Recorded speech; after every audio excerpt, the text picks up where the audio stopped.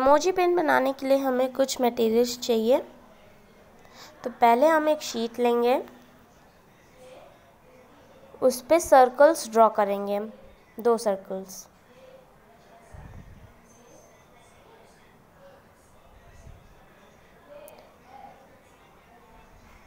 तो मैंने, आप देख सकते हैं, मैंने इस पर सर्कल्स ड्रॉ कर लिए हैं। अब हम एक कार्डबोर्ड लेंगे और उस पर फोर सर्कल्स ड्रॉ करेंगे।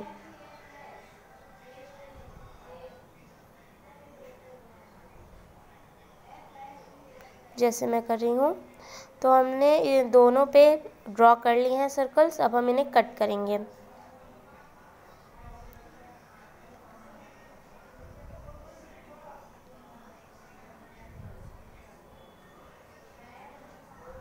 मैंने पेपर सर्कल्स कट कर लिए हैं, अब हम कार्डबोर्ड सर्कल्स कट करेंगे।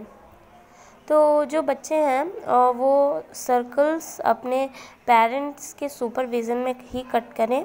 क्योंकि ये बहुत हार्ड है कट करने के लिए।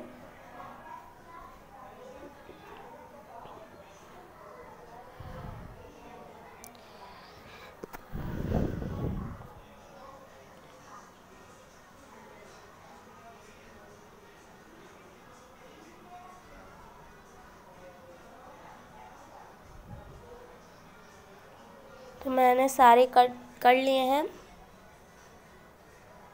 अब हम एक पेन लेंगे। तो हमने दो सर्कल्स ले लिए हैं और अब हम एक पेन लेंगे। उसको इस तरह से सर्कल पे ड्रॉ करेंगे। ये सर्कल्स हमारे होल्स बनेंगे।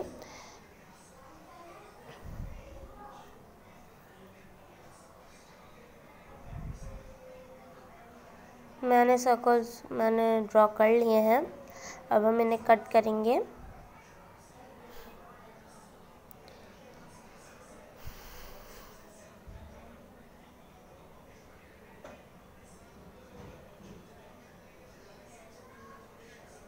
तो हमने दो सर्कल्स को कट किया है और दो सर्कल्स को ऐसे ही रहने दिया है। अब हम इन्हें आपस में पेस्ट कर देंगे। तो मैंने इसे पेस्ट कर दिया है, जैसा कि आप देख सकते हैं। और हम इसे पेन के साथ देखेंगे कि परफेक्ट है। हाँ ये परफेक्ट है। और अब हम जो हमने पेपर कट किया था, उसे हम इस पर पे पेस्ट कर देंगे। हम पेपर दोनों साइड पेस्ट करेंगे।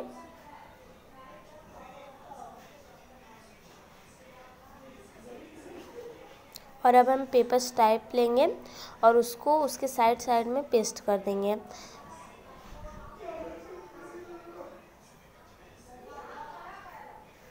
जैसा कि आप देख सकते हैं, मैंने बीच में जगह छोड़ दी है। यहाँ पे हमारी पेन जाएगी और ये बहुत अच्छी दिख रही है। अब हम इमोजी ड्रा करेंगे इस पर तो मैंने इमोजी ड्रॉ कर लिया है और मैंने दोनों साइड ड्रॉ किया है इमोजी और हम पेन पर भी पेपर पेस्ट करेंगे। इसके लिए अब हम एक पेपर स्ट्राइप लेंगे। फिर इसके बाद हम इसे जैसे मैं कर रही हूँ, उसे इस पर पे पेस्ट करेंगे।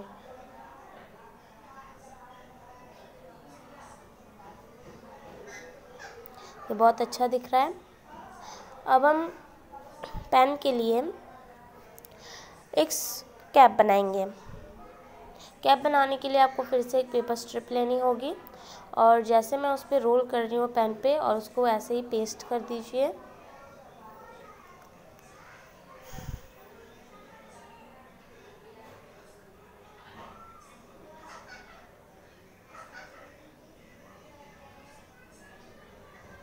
तो मैंने पेस्ट कर दिया है और कैप के ऊपर भी, ताकि पेन निकले नहीं। और हम इमोजी को भी ऊपर अब पेस्ट कर देंगे। तो हमारा इमोजी पेन बनकर रेडी है। और ये बहुत अच्छा दिख रहा है। Subscribe for more and thanks